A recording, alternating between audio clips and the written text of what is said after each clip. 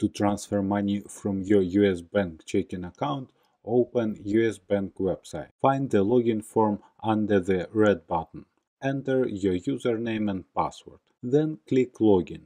After your US Bank account is opened, find the Transfers menu and click on it. In the drop-down menu, click on Transfer Money. When the Transfer Money page opens, click on the External Transfers tab. Before you can make an actual transfer, you have to link an external bank account. Click on Add a new account. First you have to choose the type of the external account. Then you can set a nickname for the account. Next step is to enter the routing number of your external bank. Then you have to enter the account number of your external checking account.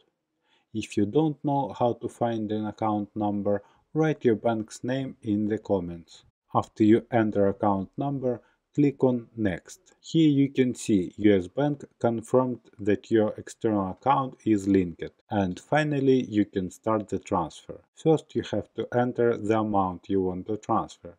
Then you have to choose the account from which you are going to make the transfer. Then you have to choose the account to which you are going to transfer money. Next, click Continue.